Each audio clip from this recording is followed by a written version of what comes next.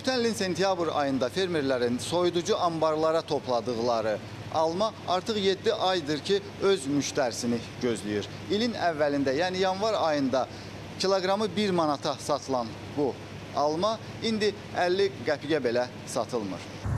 Ambarda saxlanılanlarsa almaların ən yaxşıları olur ki, fermerlər müştəri tapdıqda onları xarici bazarlara, əsasən də Rusiya bazarlarına çıxara biləcəklər. Amma günlər keçdikcə soyuducu ambardakı məhsul istər-istəməz əvvəlki keyfiyyətini itirir. Bir yandan da fermer ambarlardakı xidmətə görə pul ödəyir. Biz heç e, saxlama kamerasının pulunu və fəhlə pullarını ödəyə bilmirik. Nəinki o biz o qədər xərclər çəkmişik, e, dərman xərcləri, gübrə xərcləri, heç bunları saymırıq. Hal-hazırda vəziyyətimiz gördüyünüz kimi çox az necəqlıdır. Mən hələ heç bağda budama işləmi aparmamışam, dərmanlı işləmi aparmamışam. Apara da bilmirəm. Ona görə ki, almamı satmamışam. Ən pisi də odur ki, müqaviləyə əsasən bu ayın sonuna qədər soyuducu anbarların kameraları boşaldılmalıdır.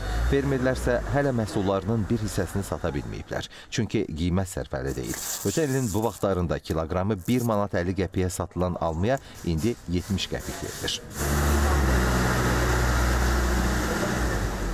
Belə götürəndə e, səhv eləmir bir də Rusiyaya mal vurmaq.